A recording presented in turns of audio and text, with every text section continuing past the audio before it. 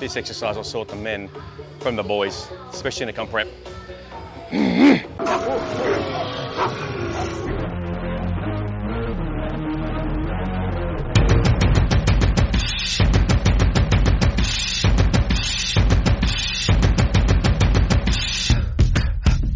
So here we are, episode five of the Road to the Natty Mr. Australia series, sponsored by the MPT Natty Gainz Academy. Today we are five and seven weeks out, five weeks out from the ICN Nationals and seven weeks out from the INBA Nationals. Today we're going to be crushing some legs. Now, comp prep has finally caught up to me. My calories are coming down. My current macros are 240 protein, 125 carbs and 52 fats. So we're under 2,000 calories now which is good fun. So um, the reason that I've dropped it again this week is because my hamstring fat and glute fat is being stubborn and wants to hang on for its life. So it's time to crush that shit and get it off so I can reveal the masterpiece on show day. So today we're going to be going relatively heavy, a lot of compound movements. We're doing both quads and hamstrings today. So I'll probably start on an extension, work up to one or two top sets on that. I'll move to a hack squat, work up to two top sets on that. We'll go to a leg press with a kind of moderate stance. I'm not necessarily targeting quads or glutes, I'm gonna target everything. Then we're gonna move from there into some stiff-legged deadlifts or some RDLs, same thing. And we're gonna finish the workout off with either lying hamstring curls or seated hamstring curls and potentially some glutes, depending on the equipment they've got here. This is the first time I've trained at this World's Gym uh, in probably about three years now. So depending on what glute machines they've got, I may do three sets on uh, hip thrust movement or I may finish off with walking lunges. So get your knee wraps ready, your weight belts ready and strap in and watch how the 2021 Mr. Australia does it for legs. Let's do it. Workout started. We're gonna start with uh, two or three warm-up sets, basically to prime the muscles, the nervous system, program the right movement patterns, make sure that it's these quads and not the tendon that's doing the movement. So super light for the first set, I'll probably do anywhere from, this looks pretty even, anywhere from 15 to 20 reps.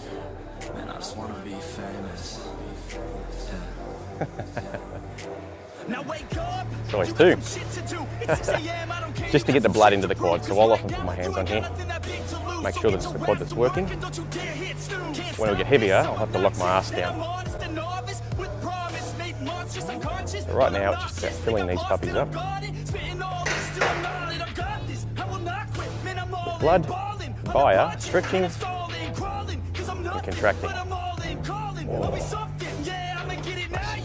I tell you what, man, it's hard not to train hard when you got the goat. Greatest of all time, Ronnie Coleman, highlights playing in the gym. All right, so this is the last warm up. It's probably the third warm up. I'll just go down in consecutive numbers basically. So this will be the last warm up before the acclimation set before the heavy.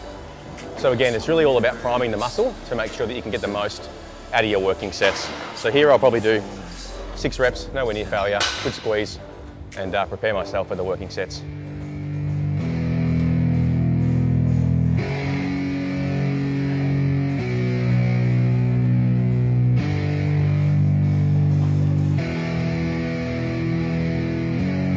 Yeah. Nice. It's our time to shine. Alrighty, so this is the acclimation set. It's the bridge set from the warm-ups to the working. So I'll do the stack, two or three reps, and then we'll throw some weight on top of the stack so I can be challenged in that six to eight, six to 10 rep range. Just let your mind loose from the new stock. Drunk off the goose, yeah. Thinking that I'm too pop. Getting caught with a few thoughts, cause I'm, too lost. Off the speakers can't even handle me. Giving what I got, nobody could drain my energy, and I will never stop. All right, here we are about to do our working set.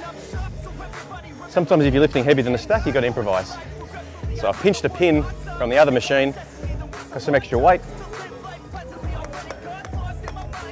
that I'm gonna load up onto the stack, plus this, and then that overload will help me fail in that six to 10 rep mark. Here we go. It's time to tap into beast mode.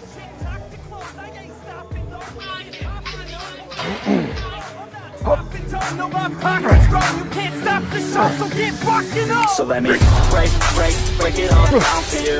I ain't never giving up, I ain't never you know I'm take, take, taking that crown from you. I ain't worried about you, I ain't never So let me break, break, break Come on. it all down for you. I ain't never giving up, I ain't never you know I'm take, take, taking that crown from you. I ain't worried about you, I ain't to make.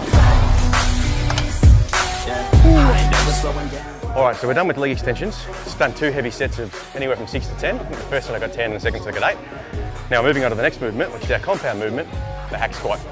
I did two or three warm-ups because I haven't used this hack squat in probably three years, just to make sure I got my feet placement right. And my goal with this is to place the load predominantly through the quads. Obviously it's a compound movement, you're gonna be using everything, but I just wanna get the feet in the right position to be able to drive my weight through my heels. Almost reach full flexion. See there, I'm not quite as low as I'd like, so I may come lower. There we go. Off on the enemy, that's what makes them scared of me Make my plans carefully, then execute them daringly They say I act recklessly, but that's why I'm effective See, you can't predict my tendencies, I offer no transparency Some people think I'm lost, others think I'll be a legend I'm never gonna stop till I'm one above second in my thoughts Okay, so leading into a comp, you start to get um, lean around the joints. So you don't have as much fat through the joints. So when I go heavy on compounds, I, I, I want to use knee wraps. Basically keep the warmth in there and help the, uh, the joint feel compact. So as I move up towards my two heavy working sets, I'm going to stick my uh, SBD knee wraps on, knee sleeves on, just to make sure that uh, the joints are protected. And it may or may not help me handle a little extra weight.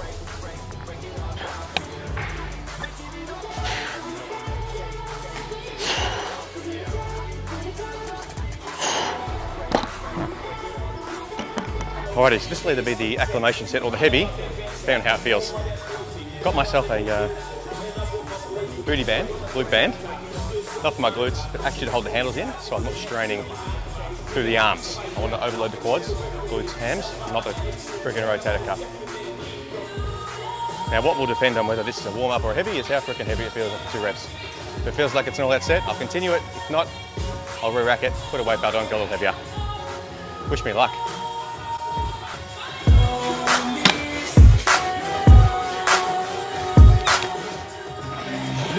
In effects.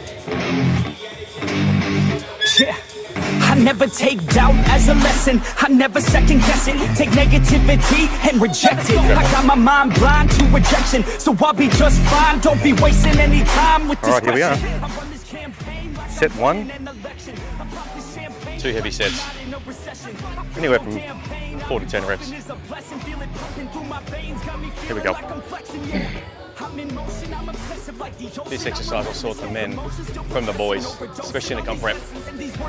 Breathing cut you deep, oh yeah, I threaten Feel the heat and all the tension. Need relief from this whole session But I keep myself progressing Cause I creep around suppressants I don't sleep enough, you guessed it Every second is a blessing. Got no time to be depressed On this grind, you always stress So I work harder than the rest That always said to do my best I don't yeah. ever doubt myself I can count on no one else And I do not need your help I was told to show, not tell I don't ever doubt myself I can count on no one else And I do not need your help I was told to show, not tell So watch me All right, so we've done our two working sets on hack squat. Got six reps on the first and five on the second. Killed me. Moving on to leg press. Uh, two heavy sets. Because I'm unsure on how heavy I'm going to go today, it's a little bit based on feeling. When you are this late into a comp prep, you don't have that much energy, so it's more based on feeling. I'll do probably two or three warm-up sets, working up towards my two top sets. So here's, here's uh, warm-up set number one. I always get my feet in right, feet in first, and make sure that I'm pushing where I want to be pushing, and then I'll slide my ass in and get into position. Just found that's optimal over the years. Use my only method, all these words that I've invested I don't Reps. hope that they're impressive, I just hope that they're effective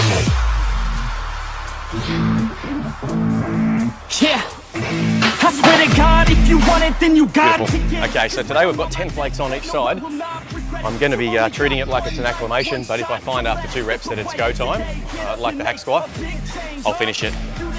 Hats backwards, got the war mask on, headphones are on. Time to go to war. Let's do this. Defensive prosecutor, just living up consumer, or will you be a producer? You have a dream, go capture it, go activate, get off your ass and take some action, bitch. Start acting like you want this shit, cause passion ain't compassionate. Too many people want this shit, it's not enough you're talented, you have to fucking grab it. I'm sick of being adequate, another college graduate, just looking for an advocate to hire me to pack your shit. You want it, take a stab at it. You need it, then get after it. These people, they don't matter, shit, just block them out and I don't capture it. Come on. myself I can count on no one else And I do not need your help I was told to show, not tell I don't All right, so moving over to hammies now. I'm going to start with the uh, I can count on King of the Jungle. It's a hip hinge movement, Romanian deadlift with a glute focus. I'll do two warm ups I was told to show and work my way towards my heavy. So the warm ups are pretty light with the idea of uh, my muscle connection. Watch me Okay, so warm up. Got three plates on now, which has exceeded my grip strength. So I've resorted to my famous and favourite figure eight wrist wraps, because at the end of the day, you're overloading your hamstrings and your glutes, not your grip. Don't win comps by having a strong grip. So this, this set I'll go for four reps. Again, making sure the movement pattern is sound. My hammies are the ones taking the brunt.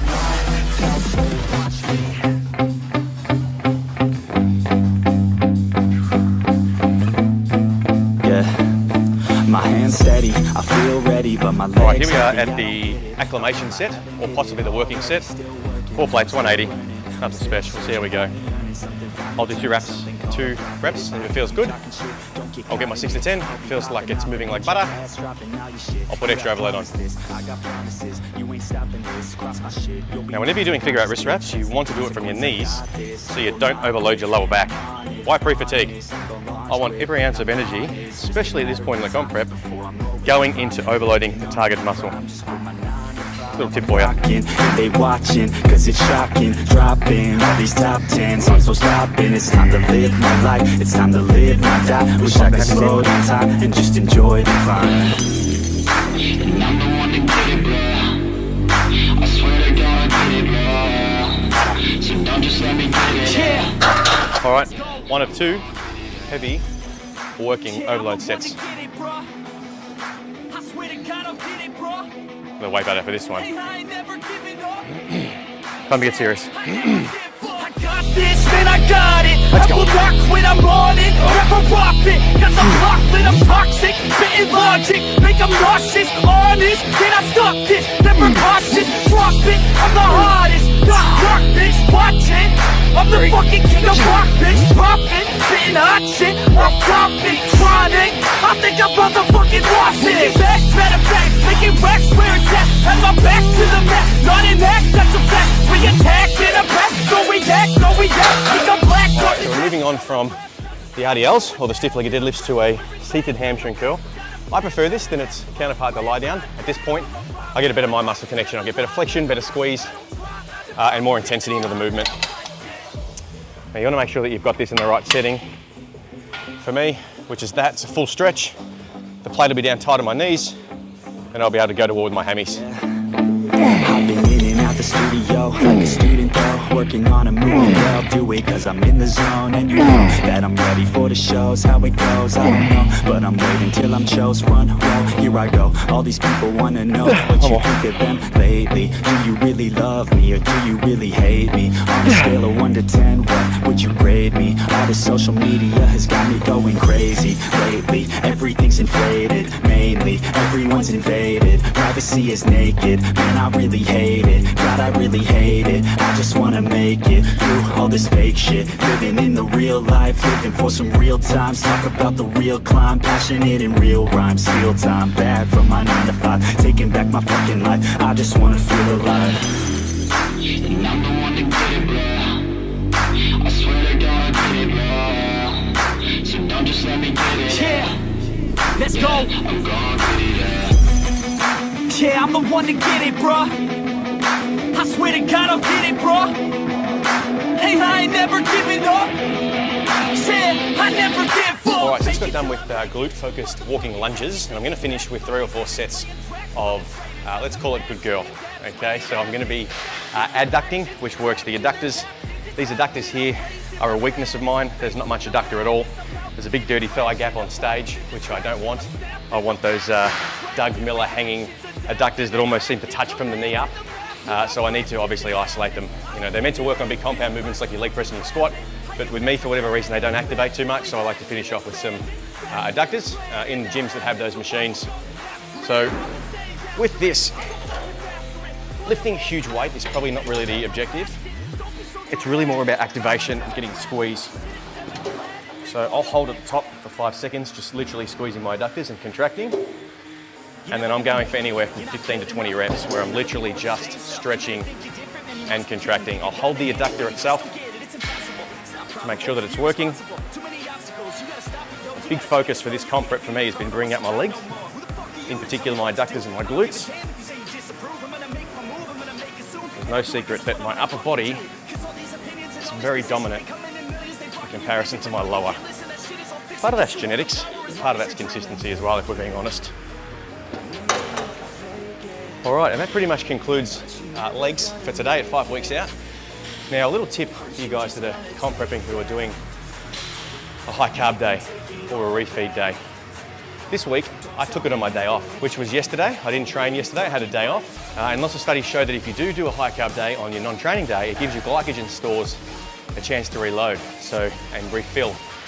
So the next day, which is today, you're strong and you have good pump, good contraction and good strength uh, output throughout your workout. And that has definitely been the case with me. I've gone super heavy on extensions, hack squat, leg press, RDLs, curls, the works. So that's a tip for you guys that are doing a comp prep, is try and have that high carb day on your off day because the next day's performance will be much better than if you have high carb day on the day that you're training. Hope that makes sense. So that's it, that's legs, five and seven weeks out.